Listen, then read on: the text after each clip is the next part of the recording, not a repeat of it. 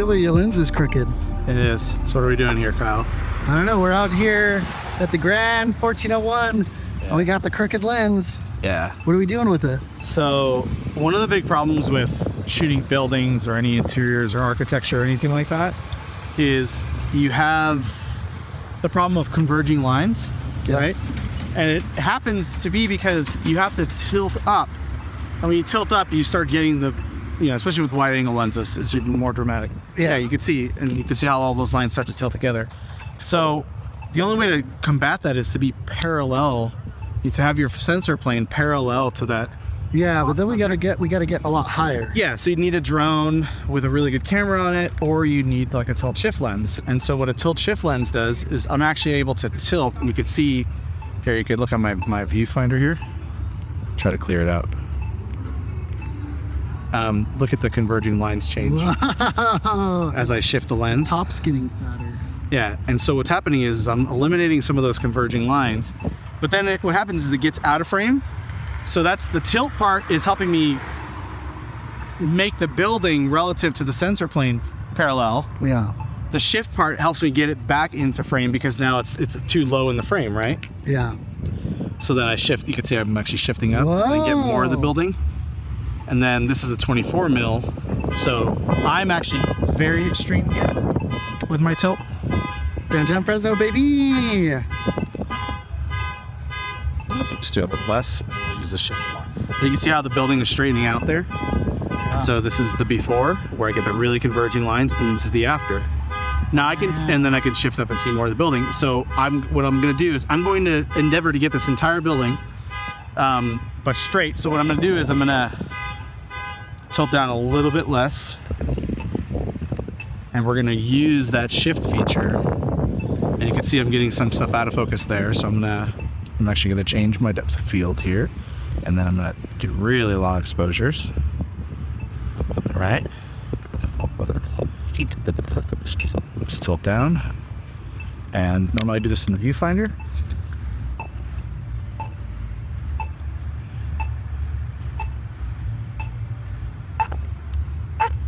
Accidentally pulled to push the shutter.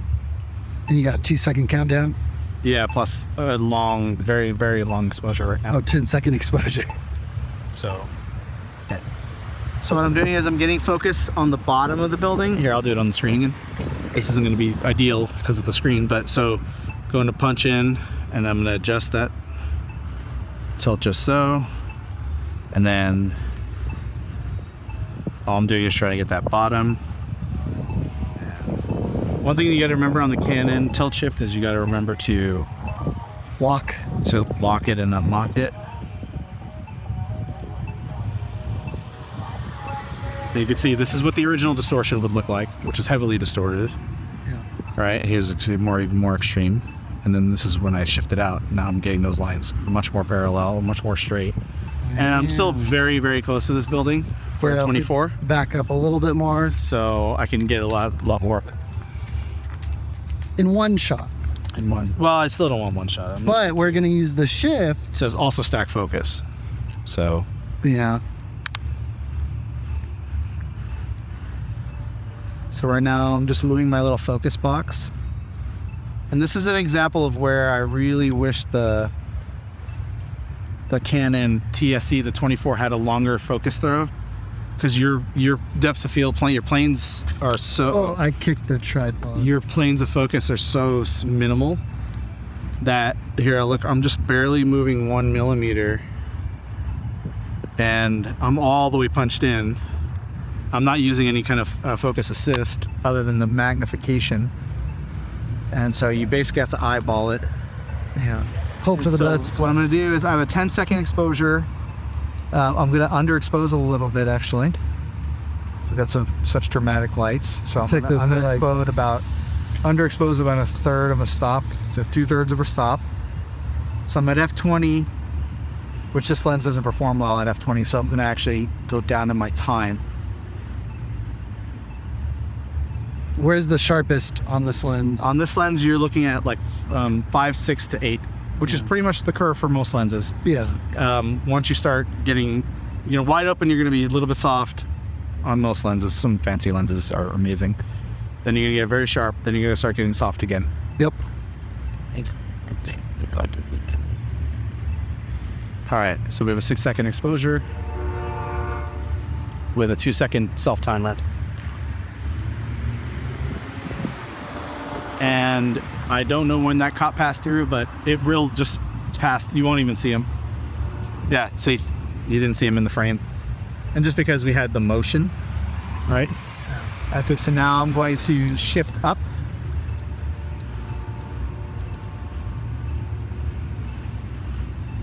And the whole point of this is to get that tip of that building. And also I'm going to change focus.